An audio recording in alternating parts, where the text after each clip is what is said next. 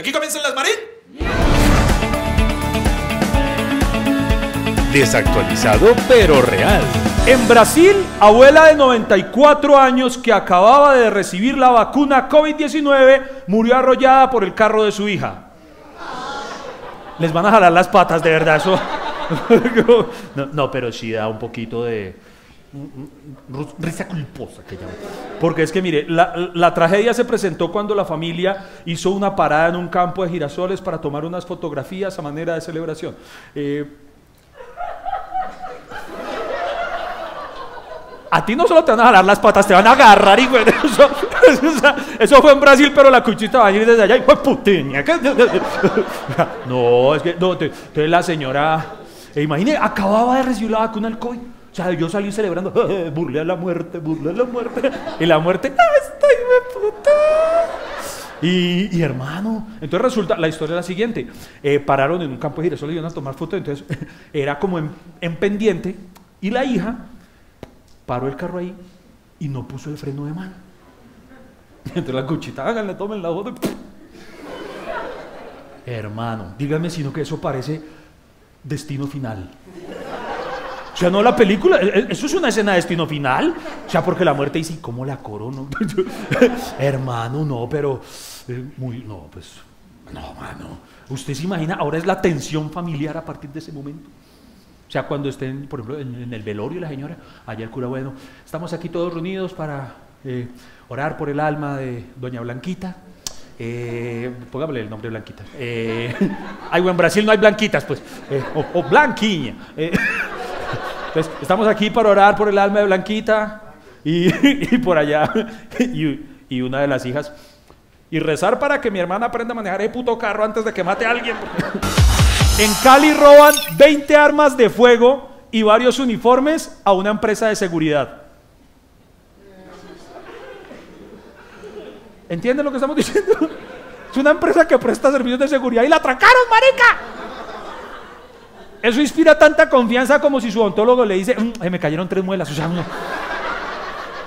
Imagina cuando se les estaban metiendo los ladrones y, los dos que cuidan, marica, ¿qué hacemos? No, nunca nos enseñaron en el curso qué hacer si nos roban a nosotros. Huevón, hágame 20 armas. Eso que ya, no, ahora sí el, va a salir el- el, no sé, el administrador, ¿cómo se dice? El dueño de la empresa y dice, no, pues nosotros ya no somos una empresa de seguridad privada, sino somos una empresa privada de su seguridad. eh. En Cartagena, delincuente atracaba con una pistola de la Segunda Guerra Mundial. Sí, amigo, en serio. Se trata de una pistola marca Luger. eh, ¿Las conocen? Las, las- de los nazis, esas que eran delgaditas, todas bonitas. Eh, P8 calibre 22, reliquia militar exclusiva del Tercer Reich. Eh, entonces, y, este, y este man asaltaba con. Nunca se le hizo, ve esta pistola tan rara. weón?" Y entonces el man, pum, por allá. Eh, eh, lo- entonces lo- lo- la, la policía, lo que yo la policía cuando vio esa arma, es un arma muy difícil de conseguir. Como, por ejemplo, no sé si han visto una, una miniserie de HBO que se llama Band of Brothers. Uno de los protagonistas, toda la película, un, soldado de los aliados, toda la serie está buscando una pistola de esas para llevarse recuerdo. Y es una pistola súper que hoy en día dice que es muy valiosa, muy costosa. Y entonces cuando la policía lo ve, dice, ¿usted es que es huevón y el man, ah, pero no, no, sano, esa, esa arma no es mía, no es mía. Entonces, entonces, es del cucho, es del cucho. Pues su abuelito era nazi, huevón. eh, le cuento que- y el- hermano, o sea, el man con lo que atracaba valía más que las cosas que se robaba. O sea, eso es como si usted, para atracar, no sé, como si usted envolviera la patecadora en cheques al portador, no sé. vez, o sea, Justicia reconoce legítima defensa de hombre a quien su pareja le revisó el celular. Todos los hombres oprimidos. Eh, eh, La justicia por fin está con nosotros, hermano. Nos clavarán demandas de alimentos, pero no nos pueden mirar el celular. Mire, un polémico fallo en sentencia del tribunal, del tribunal Superior del Distrito Judicial de Bogotá dice que un hombre denunciado por agredir a su pareja cuando le revisaba el teléfono obró en legítima protección de un derecho fundamental. La, la- polémica es brava porque eh, eh, la vaina está en que el man, ahí sí la embarró porque el man la agredió, no sé a qué nivel, pero eso jamás debe hacerse. Y yo soy de una política. Partamos de que si usted está en una relación y ya, por ejemplo, digamos que le piden el celular. Sí, sí, sí, sí, lo digo porque me ha pasado. Yo soy experto en la materia. Si tú estás, digamos que tú estás chateando con una amiga, eh, con una vendedora de Avon, alguna cosa que no sé. Porque no, necesariamente tiene que ser sexual la cosa, tú estás haciendo un encargo de cremas para tu esposa. Y tu esposa te dice, ¿con quién hablas? Si tú reaccionas así, con nadie, con nadie, con... Mano, o sea, entregue el celular, o sea, ya la cago. vea. Mujeres, sépanlo, cada vez que ustedes le dicen a uno de hombre, me dejas ver el celular, y las huevas se ponen de corbatín. Así uno no esté, marica, así, uno no esté haciendo nada malo. Us- Usted puede estar mm, jugando Candy Crush. Pero yo no sé, como hay mujeres que le miran hasta el historial a una calculadora, Dios mío, una cual precio. O sea, o sea, por ahí hay un oprimido que. Hermano, entonces, pero, pero señores, si ya la cagaron, o sea, a menos que sean, ca- por lo menos mis cagadas eran chiquitas, entonces podía entregar el y me van a levantar, pero, porque se los digo, es peor usted no dejar ver, ¿cierto? Es peor porque ella se va a imaginar algo peor. O sea, si usted hizo algo así, ella se va, si usted no le deja ver el celular, ella va a decir, uy, mínimo tiene un video culiándose a mi mamá, alguna cosa este desgraciado. Porque claro, o sea, para que, o sea, ya entréguelo, ya entréguelo. Eh, entonces, el, el- no sé, ahí es donde me parece que pues, sobró mal. Pero el punto está en que niñas tampoco pueden ustedes ir a porque Yo, tengo un amigo... Yo tengo un amigo que, que, siempre que salía del baño me dice, encontraba esa pantalla llena de huellas dactilares. Hermano, no, o sea, si usted no está, si usted no confía con la- en la persona que tiene la, es muy, miren, yo les tengo dos opciones. Si usted no va a confiar en esa persona con la que vive, pues muy sencillo, tenga un segundo celular secreto.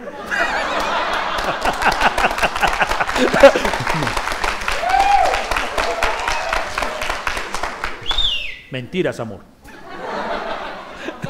Ay, Dios mío. Eso, uy, no, ya. eh, Tres celulares ni un traqueto.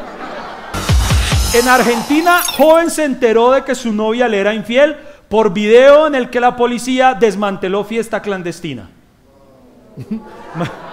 Imagínense se entera, pero porque resulta que eh, la noche anterior, eh, eh, como que tantas parejas, bueno, amor, ¿qué voy a hacer? No, pues me voy a dormir, listo. Feliz noche, hablamos mañana. Y él se acostó y ella le dijo, ¿va a dormir? Y al otro día estaba viendo noticias cuando, miren el video que vio el personaje.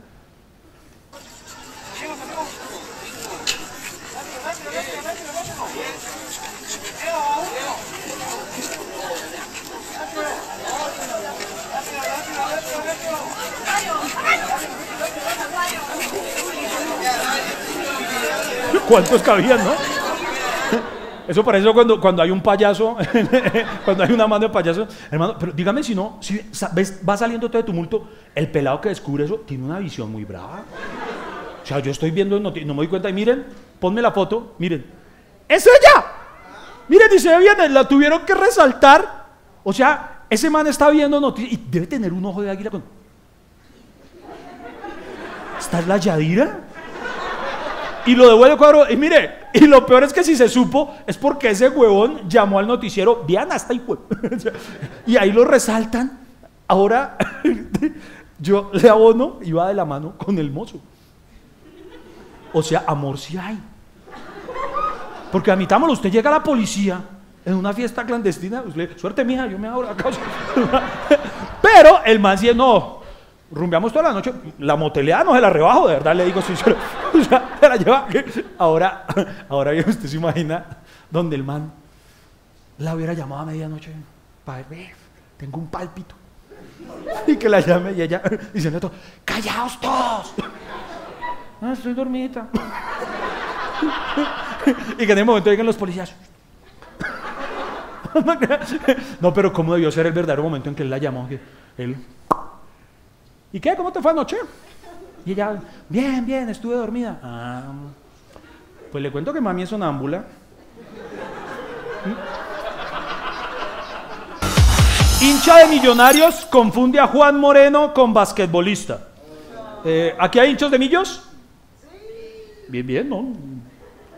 Bien. Los hay, los hay. Hay gente así. El aficionado se tomó una foto con Jairo Mendoza, capitán de Piratas de Bogotá, del equipo de básquetbol, pensando que era el guardameta del equipo embajador. Entonces eso, porque el man subió la foto diciendo que estaba aquí con, mi ídolo de, Millos. Y miren la foto, miren la foto. Ahí está. Y resulta que era un basquetbolista. Entonces los amigos le empiezan a decir, hermano, no hay que... que cagado Tom ¿no? Que yo les a mí me pasó. A mí me pasó por al contrario, les juro que una vez una, una chica se me acercó y me dijo, ay, no, me encanta tu trabajo, no, yo quiero una foto contigo. Y yo, claro, con mucho gusto. ¿verdad? Y entonces me tomó la foto y, no, bien, ay, no, me encanta conocerte, Hassan. Y yo...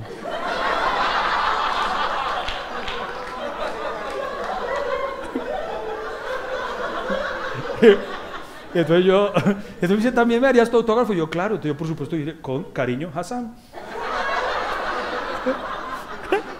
Y abajito le puse vieja HP. No, mentira, yo le iba a dañar más la magia, pero esas cosas pasan, muchachos. En Argentina, modelo de 24 años falsificó documento y se hizo pasar como trabajadora de la salud para ser vacunada contra el COVID mucho antes de su turno. Eh, pues, como aquí, pero eh, pero, pero quiero mostrarles a, nuestra modelo en cuestión. Miren la chica que... esto se enfermo. Mira, esto mande de una... Uy, yo sí la vacuno. Yo sí. Yo, venga, mami, yo la inmunizo, pero... Eh, aquí está ella que... Mm, bueno, lo... Eh, ella, ella les hizo, así ah, mientras no sea, ella les hizo creer eso, que, que ella mm, estaba, por ser trabajadora de la salud, estaba expuesta al, riesgo, entonces por eso lo vacunaron. Yo me imagino el, el man de, que la atendió fue como los de acá, como, yo sí le veo la sobreexposición, mami, ¿verdad que, que, pero, pero, bueno, pero por lo menos, obviamente no está nada bien hecho lo que hizo, pero, pero por lo menos esforzó en falsificar algo. Me da más putería los de acá que... Decía, ah, que yo soy el senador. O sea, por lo menos pele una teta, huevón. En Barranquilla, cuatro ladrones no pudieron robar compraventa con mazo y huyeron en una sola moto. ¡Cuatro! ¡Cuatro! Venga, vamos a ver. Les voy a poner el video que se divide en dos partes. En la primera van a ver a esos manes boleándole masazo a la vitrina, huevón. Y no pueden. Entonces al final los más dicen, no, marica, los que se abren, los que se abren. y, cuatro en una moto, huevón. Van a ver eso. Es un cuadro. Entonces, venga, los invito a algo. Yo mismo no he hecho el ejercicio, hagámoslo entre todos. Contemos entre todos en voz alta el número de martillazos, a ver cuántos fueron. ¿Listo? Listo, entonces empiezan a mandar y todos vamos contando. Oh, no, listo, va. Entonces. Va. Ahí arranca, mire. Hermano, listo, vamos a robar. Uno.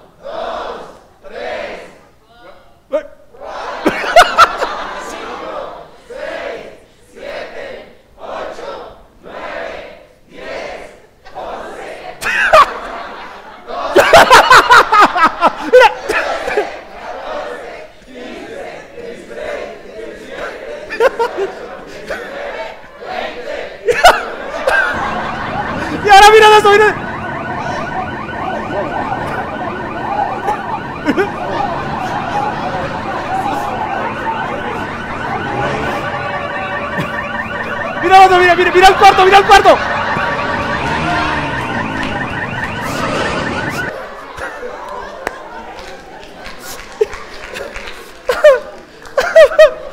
¿Cuántos fueron? ¿20? ¿21? ¿21? Más, si uno que es en una se vio en la rodilla, como de puta, hijo de puta. Ya la décima iba mamadito. Lo que yo entiendo es por qué si son cuatro no le ayuda al otro. Venga, Rogelio, ¿verdad, weón? ¡Guacho! ¡Guacho!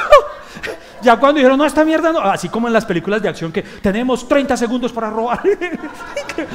ya van 45 y no dejar esta mierda. Marica, esa, esa huida donde le pongamos música de circo. Ellos. O la de Benny Hill. No, Qué vaina tan. Yo no entiendo. Eso, marica, lo que necesitaban robar era un carro. O sea, primero hay que invertir en la empresa, güey. O sea, yo no entiendo. Ahora, el machistoso es el último, güey. O sea, todos los otros ya están haciendo, uy, marica, pero el fierro, el mazo lo tiene ahí, ¿o qué? Y el último, venga, venga, pero, uy, no, no, pero el manulio se me mete en el culo, no. no. Y el otro no, si nos coge la tomba en prisión le meten otra cuaca en el manulio, le digo, ay marico, qué vaina tan chistosa, güey. Eh, pucha. Ay no, sudé. Sudé como el del mazo. La encuesta descompuesta. Sobre los ladrones de la moto, ¿usted opina que A. Deberían contratarlos los hermanos Gasca. B.